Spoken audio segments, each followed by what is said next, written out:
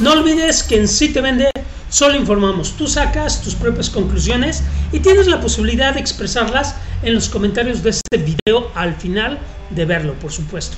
¿Qué hace Armando Ríos Paite en la UDLAP? Esa es la pregunta que tienen que hacerse los integrantes del patronato que lo eligieron rector interino después de ver que, casi dos meses después de su nombramiento, no ha podido tomar las riendas de la institución y se encuentra imposibilitado para satisfacer las demandas de una comunidad que exige la normalización de la vida universitaria.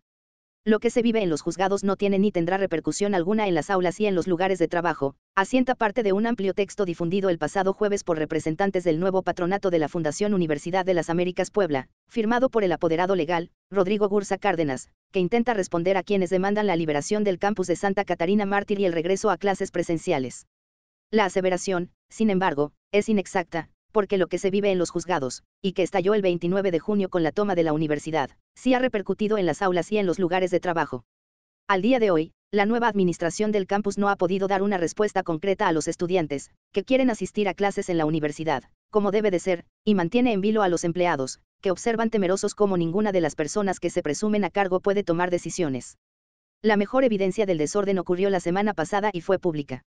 La reacción de Ríos Paite ante la protesta del lunes en las inmediaciones del campus no fue la que se esperaba de un rector con los hilos del control en la mano, sino la de una persona que espera el acomodo circunstancial de las cosas para salir adelante en sus metas. Al margen de las comprensibles simpatías con el depuesto patronato de la familia Jenkins de Landa y el rector Luis Ernesto Derbez, los 500 manifestantes del 30 de agosto coincidieron en un solo reclamo, la reapertura de la universidad a las clases presenciales. La exigencia representaba un buen momento para legitimar a los nuevos responsables de la institución, que con una respuesta clara y satisfactoria habrían desactivado mucho de la inconformidad que existe principalmente entre alumnos y padres de familia, pero ninguno de ellos se dio cuenta de eso y perdieron la oportunidad. ¿Qué consiguieron los manifestantes de aquel lunes con la protesta? Nada. Solo un planteamiento tan abstracto que dio lo mismo no tenerlo. Ríos Paite publicó una propuesta en redes sociales que se redujo a una sola cosa, crear un grupo de trabajo para hacer entre todos una estrategia que permita la vuelta a la institución. Nada más eso. Sí. Debió presentar un plan ya trazado y claro, que incluyera fechas, reglas y condiciones adecuadas para el regreso seguro en el contexto de la crisis sanitaria, pero no lo hizo. El responsable de la universidad privada más importante del estado llegó al 30 de agosto, día generalizado del retorno a clases en todo el país, sin una estrategia de retorno para sus casi 9.000 estudiantes, repartidos en 52 licenciaturas, 15 maestrías y 6 doctorados.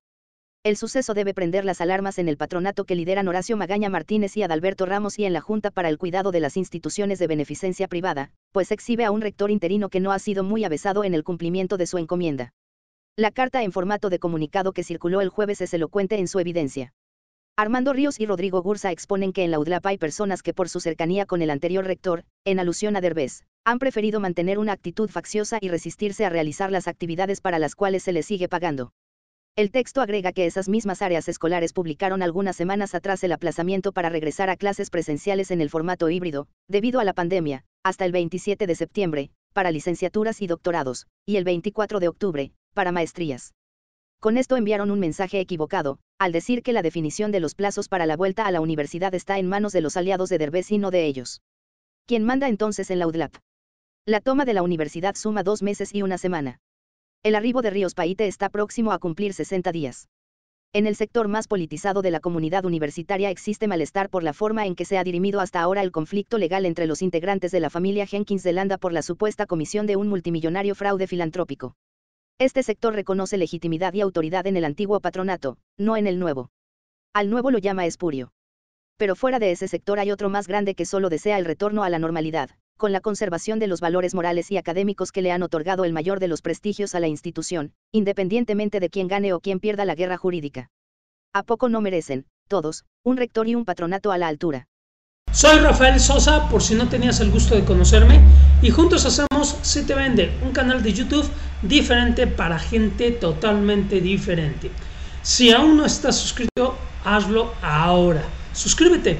Al compartir este video y con tus likes o comentarios, estás ayudando a personas con enfermedades crónico-degenerativas. Un muy grande abrazo.